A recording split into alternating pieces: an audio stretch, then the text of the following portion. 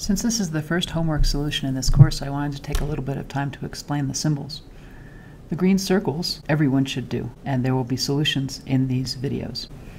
Everyone should try all of the problems with the blue squares. Those problems will be discussed on the forum. The black diamonds are for people who know a little bit more or who want a challenge. These are completely optional, and again will be discussed on the forum.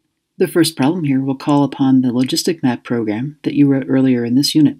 The task in this problem was to generate a trajectory from x equals 0.2, 200 points long, with r equals 2, and then to generate a trajectory using the same r, the same number of points, but a slightly different initial condition. The next task was to plot the absolute value of the difference between those trajectories versus n. Here's the difference. Here I'm generating the n values, setting up a figure, doing the plot. There's the figure. Let's keep that in mind. Then we were supposed to repeat this for r equals 3.4 and r equals 3.72.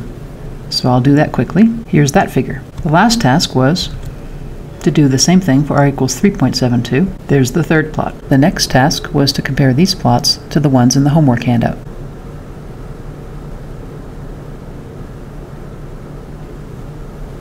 And then answer the following questions. So which of these plots corresponds to r equals 2? That was the one that fell off like a stone.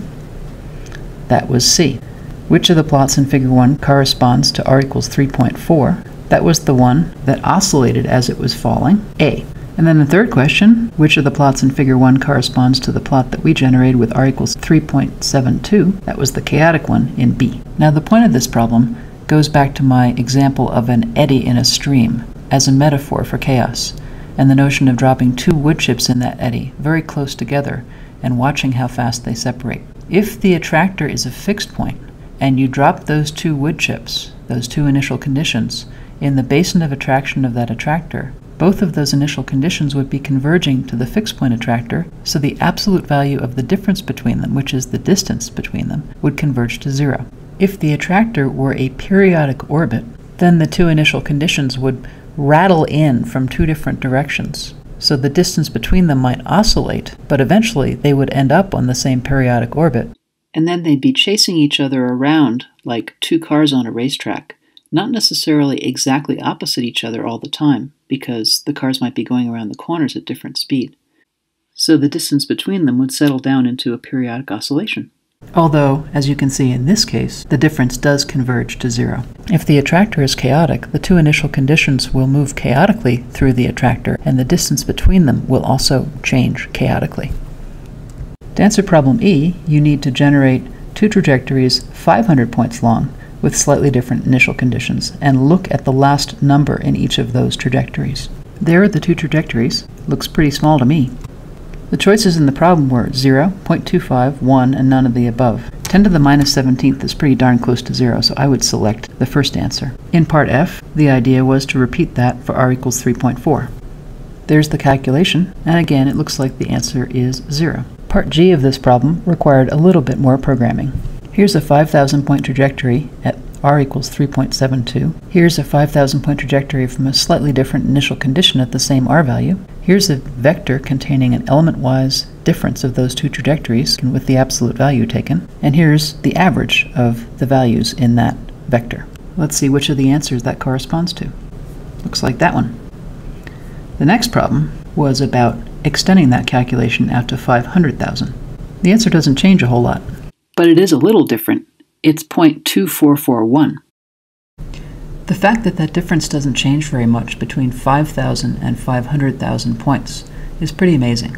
What that says is that as the initial conditions move around the chaotic attractor, the average distance between them is pretty much the same over 5,000 points or over 500,000 points. That's a consequence of the combination of sensitive dependence on initial conditions and the bounded, patterned, structured nature of a chaotic attractor. In problem 2, we went back to using the app. And the task was to generate a 50-point trajectory from x naught equals 0.2 using this very carefully chosen r parameter value. Let's restart the simulation. This doesn't look to me like anything periodic or anything that's a fixed point. I would guess this is chaotic, but there's something very interesting going on here. Look at this little piece and then this little piece. There's some patterns going on there. but they're not quite the same. So I would guess that this is a chaotic orbit. In part B of this problem, we're going to watch for a little bit longer and see what happens, to see if it's really chaotic or if it's going to settle down to something. With this app, you can watch an ongoing process of iterations by clicking Start Animation.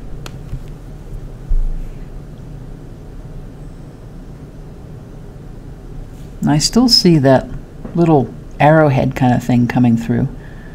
And then things look like they go chaotic in between. The re reoccurrence of that pattern makes me suspect we're near a bifurcation point.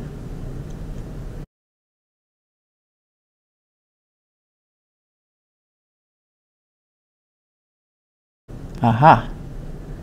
Now things have gone periodic. Now I'm going to stop the animation so we can count and see what kind of period it is. Looks like it repeats every 1, 2, 3, 4, 5, 6, 7, 8, 9. That's a 9 cycle. So the answer is this one.